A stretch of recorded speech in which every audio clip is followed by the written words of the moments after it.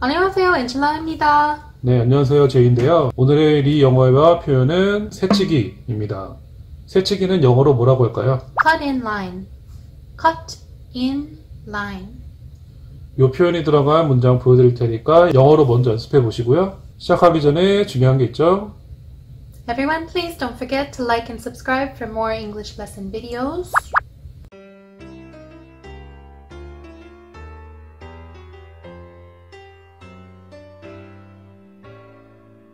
첫 번째, 새치기 하지 마세요. Stop cutting in line.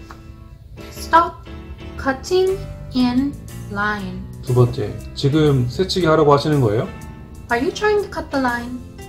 Are you trying to cut the line? 세 번째, 새치기 한 사람은 뒤로 가야 됩니다. The person who cut the line should move to the back. The person who cut the line should move to the back.